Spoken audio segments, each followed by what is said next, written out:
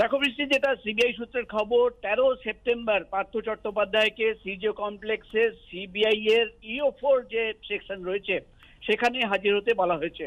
এবং সিবিআই সূত্রের খবর, আয়কর মামলায় তাকে নোটিশ পাঠানো হয়েছে। আয়করের তদন্তকারী অফিসাররা যেটা জানাচ্ছেন যে, গত কয়েক মাস ধরে তদন্ত করে তারা কিন্তু পার্থ চট্টোপাধ্যায়কে তুমি যেটা বললে যে আগেও নোটিশ পাঠানো হয়েছিল তারা যেটা জানাচ্ছেন বা তারা, তাদের কাছ থেকে যেটা জানা যাচ্ছে যে একটি ভিডিও ক্লিপ রয়েছে ভিডিও ফুটেজ রয়েছে, সেখানে দেখা যাচ্ছে যে পার্থ চট্টোপাধ্যায় আয়করের অনুষ্ঠানে গেছেন এবং মঞ্চে দাঁড়িয়ে তিনি আয়করের সমর্থনে কথা বলছেন, পাশে রয়েছেন আয়কর কর্তা।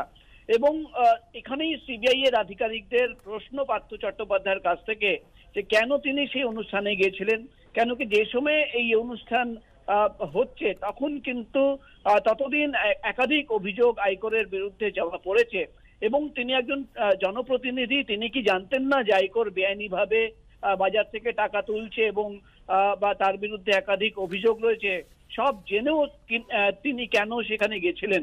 এবং যেটা সিবিআই এর আধিকারিকরা জানাচ্ছেন যে কিছু আর্থিক লেনদেন, নাকতলার একটি ক্লাব রয়েছে, পার্থ চট্টোপাধ্যায় যে যেখানে তার বাড়ি, তার আশেপাশের একটি ক্লাব সেই ক্লাবের সঙ্গে কিন্তু আয়করের অ্যাকাউন্ট থেকে আর্থিক লেনদেন হয়েছে এমনই দাবি করছেন সিবিআই এর গোয়েন্দারা।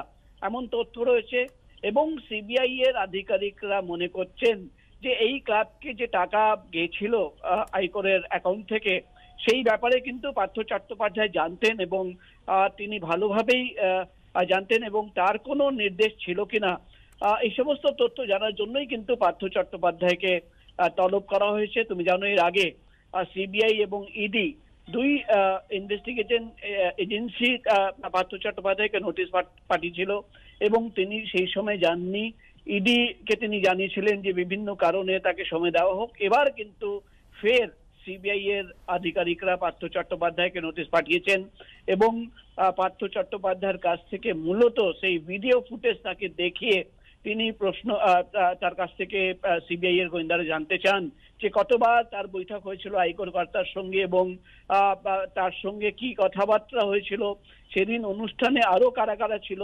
এই সমস্ত তথ্য জানার জন্যই কিন্তু পার্থ চট্টোপাধ্যায়কে তলব করা হয়েছে। সিবিআই এর আধিকারিকরা মনে করছেন যে লার্জার কনস্পিরেসির তদন্ত তারা করছেন। অর্থাৎ কোনোভাবে আয়করকে প্রোটেকশন দেওয়ার জন্য তিনি সেখানে গেছিলেন বা আয়কর কর্তাকে তিনি কি প্রোটেকশন দিতেন, এই সমস্ত অভিযোগ রয়েছে এবং সিবিআই এর তরফে যেটা দাবি করা হচ্ছে যে একাধিক ব্যক্তিদের বয়ান রয়েছে। সেখানে কিন্তু সেই বয়ানে পার্থ চট্টোপাধ্যায়ের নাম উঠে এসছে, তাই কিন্তু ফের পার্থ চট্টোপাধ্যায়কে নোটিশ পাঠানো হয়েছে। আগামী তেরো সেপ্টেম্বর পার্থ চট্টোপাধ্যায়কে সিজিও কমপ্লেক্সের সিবিআই এর ইও ফোর সেকশনে তলব করা হয়েছে হাজির হওয়ার নির্দেশ দিয়েছে। বৃষ্টি। ধন্যবাদ প্রকাশ।